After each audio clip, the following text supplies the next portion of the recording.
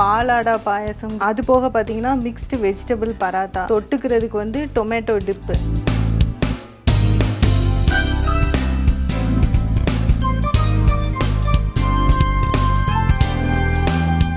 Ma'am ருசிக்கலாம் வாங்க.